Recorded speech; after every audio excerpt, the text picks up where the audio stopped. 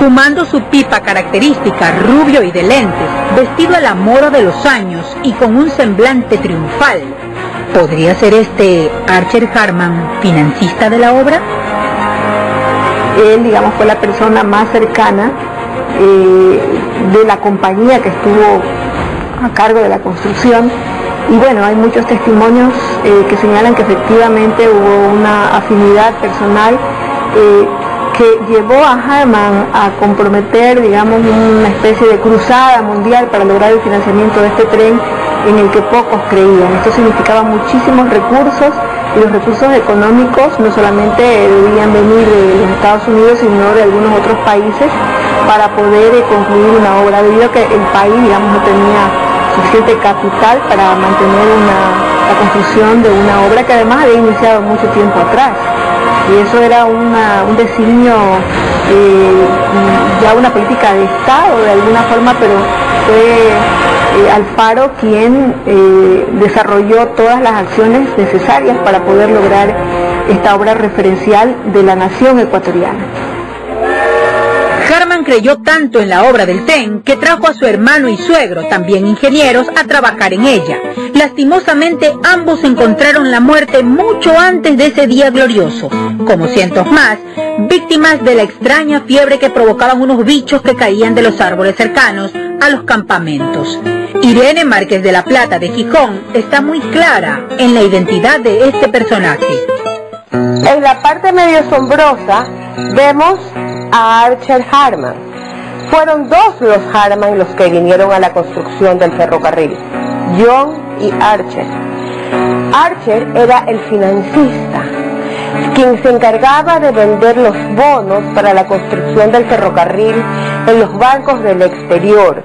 Adivinamos en el rostro de Archer una sonrisa y un gesto de orgullo. Estaba feliz no solo por la culminación de la difícil obra que terminó uniendo Guayas, Cañar, Chiborazo, Tunguragua, Cotopaxi y Pichincha, 447 kilómetros en total, sino además porque la Guayaquil Anquito Railway Company, fundada por él, había logrado ascender 800 metros en zigzag para llegar con las paralelas a la nariz del diablo. Ahora nuestra mirada se dirige al personaje más importante y al único reconocido en la foto, el presidente Eloy Alfaro Delgado. Mi sueño, mi delirio, se concentra en esta sola palabra, ferrocarril. El día de su cumpleaños número 66, Alfaro inauguraba su magna obra, aquella que tantos conflictos le había causado. Alfaro tenía sobrados motivos para estar feliz ese día pero la foto no demuestra su alegría. Al contrario, la preocupación enturbia su imagen. Quizá Alfaro guardaba una escondida preocupación que se convirtió durante años en un secreto solo conocido íntimamente por su familia. El general Alfaro recibió un telegrama de que su, hija Esmeralda se encontraba en peligro, pero él contestó ese, ese telegrama diciéndole, Esmeralda, no te preocupes, llegarás a Guayaquil, darás a luz, será varón y será un gran comandante. Nace mi padre el 21 de junio de 1908.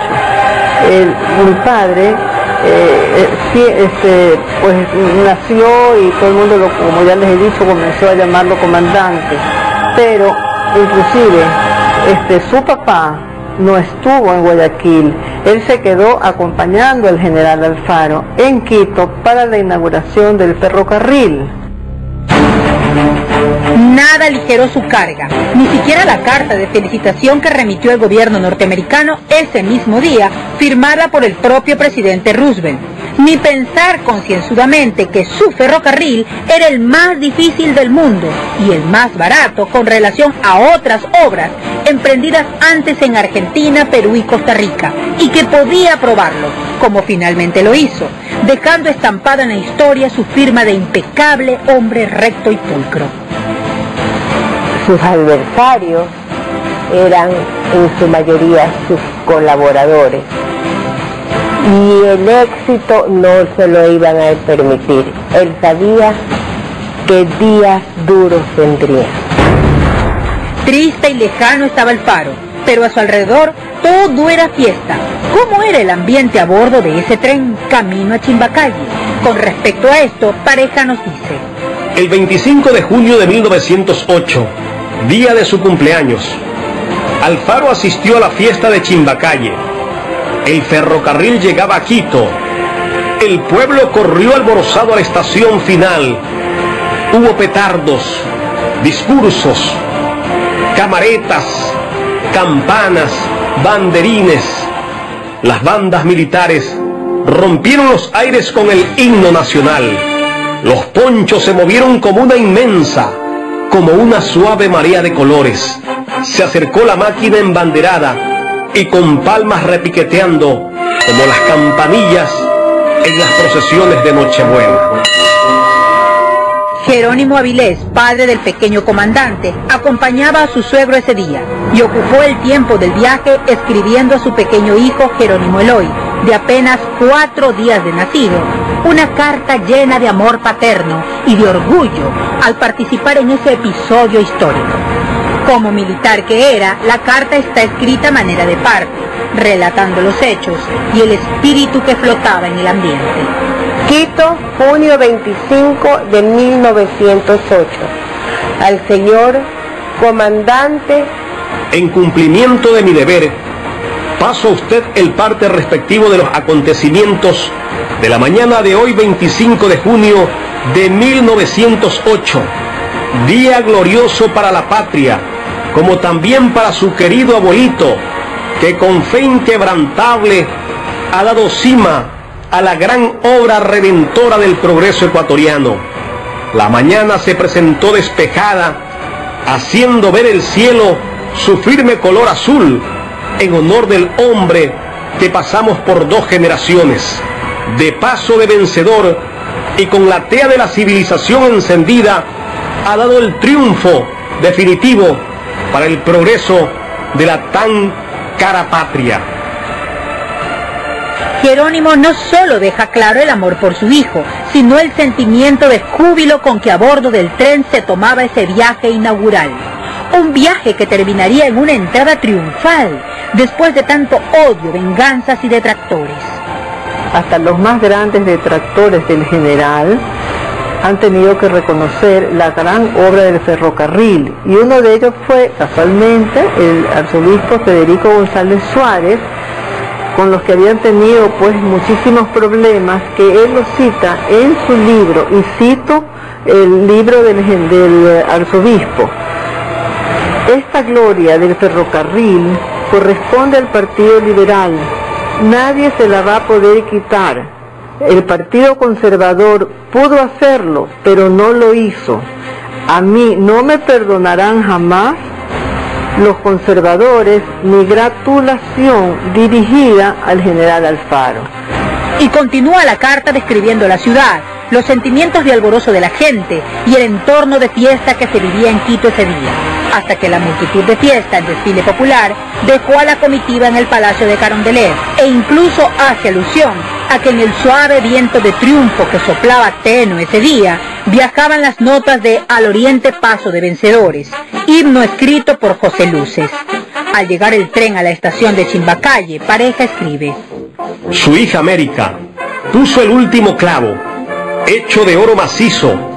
Alfaro y Harman se dieron la mano y la multitud lanzó vítores al viejo luchador y al rubio empresario de brillantes espejuelos. El pueblo siguió la fiesta, la chicha agridulce y el puro de caña les hizo bailar y cantar. El picante de cerdo con mote, las empanadas de morocho, los cuyes asados, las choclotandas y el yapingacho. El municipio ordenó crear la parroquia Alfaro en el barrio Chimbacalle y en el Congreso se ofreció el homenaje oficial al general presidente, entregándole numerosos regalos conmemorativos de aquel acontecimiento nacional.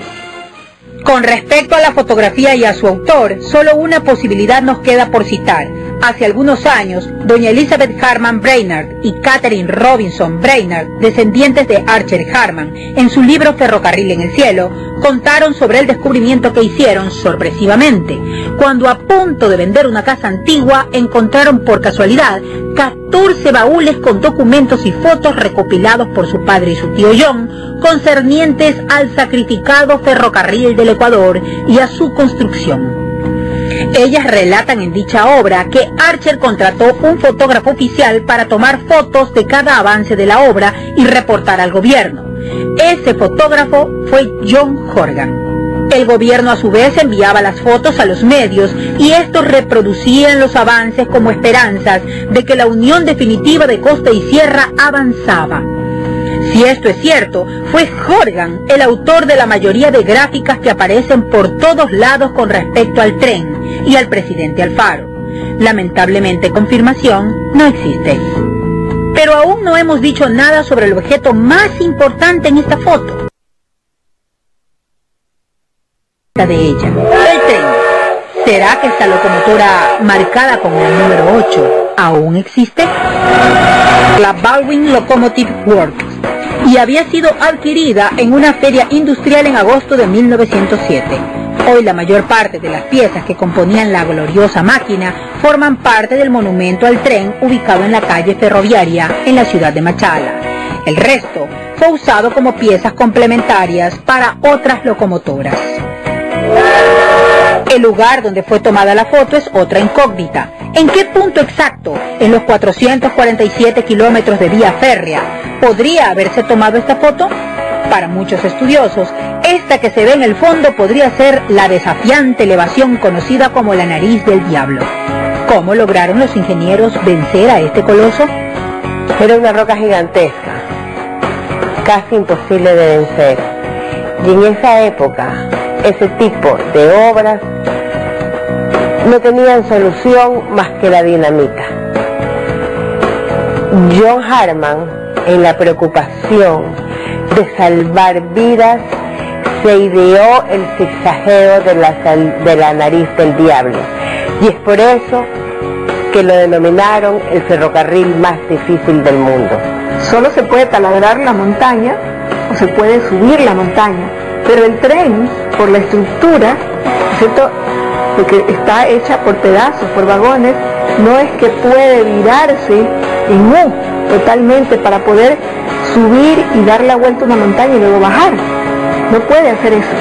Entonces la creación expresa para el caso de Ecuador es que sube de esta manera en zigzag, de frente con la locomotora de frente y luego hacia el otro lado baja en retro, baja en. Esta es la maravilla del tren ecuatoriano. Si bien jamás podremos saber si es o no exactamente la nariz, la geografía de la zona es bastante parecida y se conserva hoy tal cual como en 1908. Para comprobarlo, no hay más que visitar el lugar.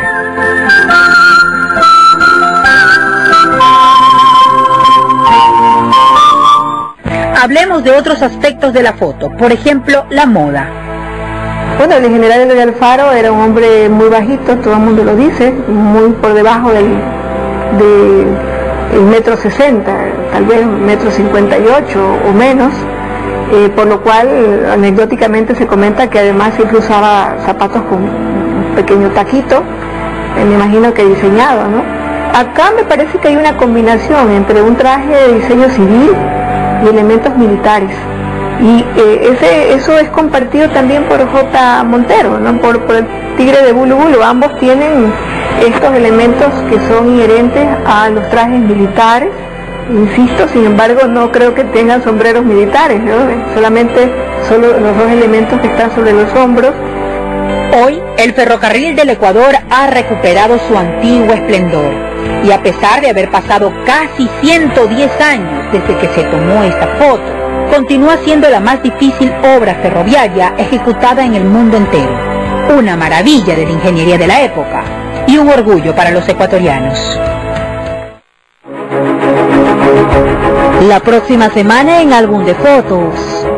Una edificación que se ha convertido en la cuna de la perla del Pacífico. Descubriremos la historia Tras esta imagen.